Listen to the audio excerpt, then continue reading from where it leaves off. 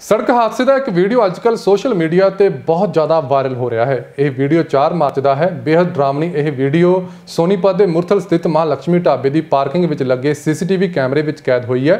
CCTV ਤਸਵੀਰਾਂ ਮੁਤਾਬਕ Amritsar Delhi national highway ਤੇ ਇੱਕ ਕਾਰ ਪਹਿਲਾਂ ਬਿਜਲੀ ਦੇ ਖੰਭੇ ਨਾਲ ਟਕਰਾਈ, ਫਿਰ ਸੰਤੁਲਨ ਗਵਾ ਕੇ ਪਾਰਕਿੰਗ ਵਿੱਚ ਖੜੀ ਕਾਰ ਦੇ ਨਾਲ ਜਾ ਟਕਰਾਈ। ਸੜਕ ਦੇ ਸਾਹਮਣੇ ਆ ਰਹੇ ਮੋਟਰਸਾਈਕਲ ਸਵਾਰ ਨੂੰ ਬਚਾਉਣ ਦੀ ਕੋਸ਼ਿਸ਼ ਵਿੱਚ ਚਿੱਟੇ ਰੰਗ ਦੀ ਇਹ ਸਵਿਫਟ ਗੱਡੀ ਸੰਤੁਲਨ ਗਵਾ ਬੈਠੀ ਸੀ, ਜਿਸ ਦੇ ਚੱਲਦਿਆਂ ਇਹ ਹਾਦਸਾ ਵਾਪਰਿਆ। ਗਣੀਮਤ ਇਹ ਰਹੀ ਹੈ ਕਿ ਇੰਨੀ ਭਿਆਨਕ ਟੱਕਰ ਦੇ ਬਾਵਜੂਦ ਹਾਦਸੇ ਵਿੱਚ ਕਿਸੇ ਜਾਨੀ ਨੁਕਸਾਨ ਦੀ ਕੋਈ ਖਬਰ ਨਹੀਂ ਹੈ।